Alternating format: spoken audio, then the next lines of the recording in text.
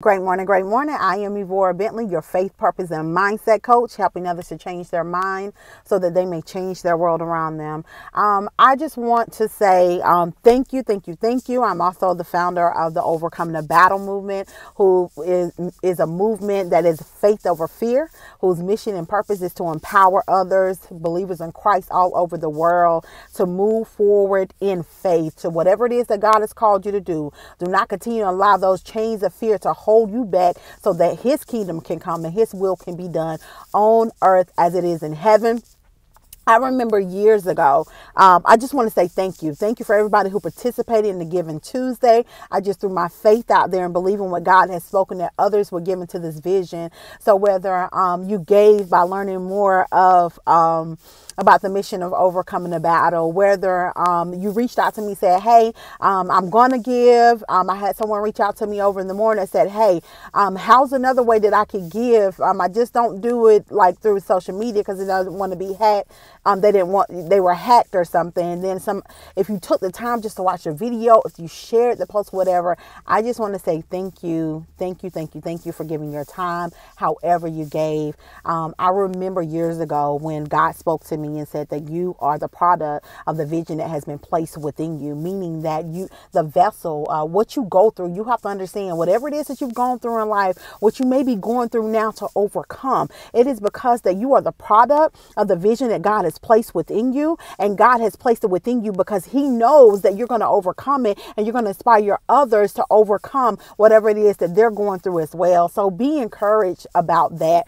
Um, be encouraged. Um, when I first started um, moving along, not understanding the journey that God has me on, and sometimes I really um, still don't always completely understand it, but I have to live a life to stand on Matthew 6:33 that says seek ye first the kingdom of God and all of his righteousness that everything else will be added unto me. And Proverbs 3 5 through 6 that says trust in the Lord with all your heart and do not lean into your own understanding. And this is what we have to understand. And for the longest I struggled I battled because some moves I would make and people are like wait a minute what's going on? Is that God? But I fought and I fought but I have clearly accepted um, the Isaiah 6 9 I believe send me and I will go that is over my life.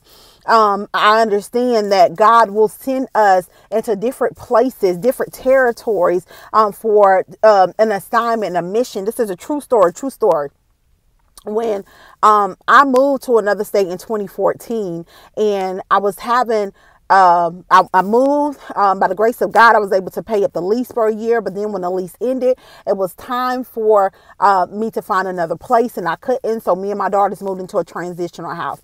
I was trying to move back to my hometown. The Spirit of the Lord clearly directed me to go into the doors of this transitional house. When I go got into the doors of the transitional house, um, my spirit was grieving. The Lord, it, it was the Spirit of the Lord that was over me. The burden for what was happening inside of that place.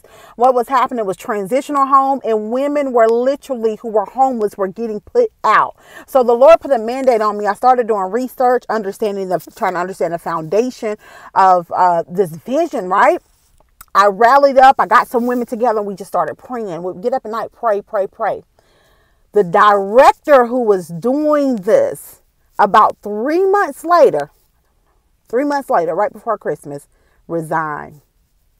I'm saying this to tell you that the overcoming the battle, faith over fear movement is I could have been afraid to go in those doors and knowing that people would try to talk about me. I could have been afraid because I've never been in a situation like that. However, if I didn't move by so that things could be changed because God was calling me on assignment for some things to change in that place, for a change agent, for me and those women to get together so that person who could be resigned because this was a place where women were supposed to be able to live because they were homeless, but they were being put out.